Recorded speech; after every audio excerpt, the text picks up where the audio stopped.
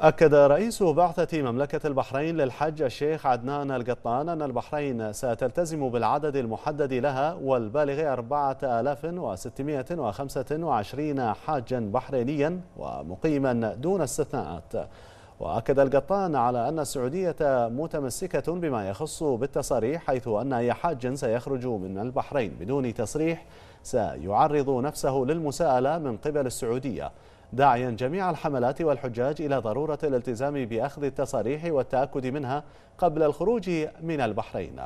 وقال إن البعثة انتهت من جميع الاجتماعات التنسيقية مع المملكة العربية السعودية ولكنها على تواصل دائم معها لتوافيها بآخر التطورات والتعميمات والتغيرات الجديدة لتكون البحرين على أتم الاستعداد.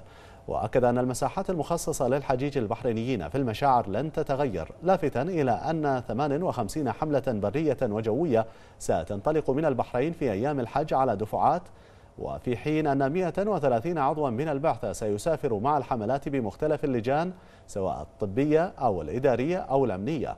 وكانت اللجنة العليا لشؤون الحج والعمرة أعلنت أن آخر موعد للانتهاء من إجراءات توثيق جميع العقود وتكوين حزم الخدمات عن طريق المسار الإلكتروني هو يوم الثامن من أغسطس المقبل.